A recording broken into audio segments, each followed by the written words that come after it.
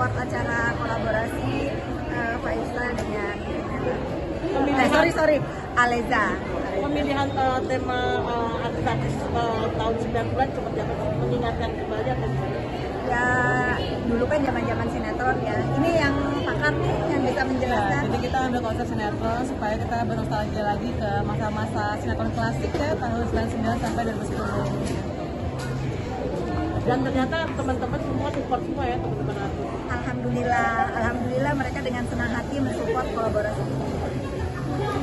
Tapi tema-tema uh, baju-bajunya tuh tema-tema apa sih kak? Ya lebih ke mana? Eh, kalau Five Star kan lebih ke bold, tegas. Kalau Aleza itu kan eh, feminim. Berkolaborasi, aku juga sebetulnya kepengen feminim gitu. Jadi mulai nih udah pakai rok karena eh, inspirasi dari Aleza. beberapa lama mungkin persiapan 6 bulan, 6 bulan. Cukup, cukup lama mempersiapkan kolaborasi ini. Kalau itu sendiri gimana uh, kolaborasi dengan Fitri yang orang tahu lah gitu?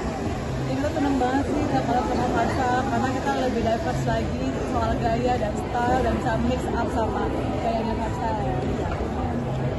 Terima kasih. terganggu nggak sih dengan semua ini dengan lagi lagi lagi launching kemudian ada ada gangguan-gangguan seperti itu? Kita fokus kita fokus ke acara kolaborasi ini ya karena saya mewakili uh, Five Star dan eh, berkolaborasi dengan terima kasih teman-teman sudah hadir. Jadi pembuktian nggak sih kak? harganya terjangkau. Pokoknya ini kolaborasi eh, produk dalam negeri yang ramah di kantong Kak karya ini sekaligus? uh, kalangan menengah ke atas ke bawah. dari paling atas sampai menengah ke bawah pasti kebeli insya Allah. Murah harganya. Kak berkarya ini sekaligus membungkam omongan-omongan jelek kita kembali ke kak? fokus ke acara ini ya.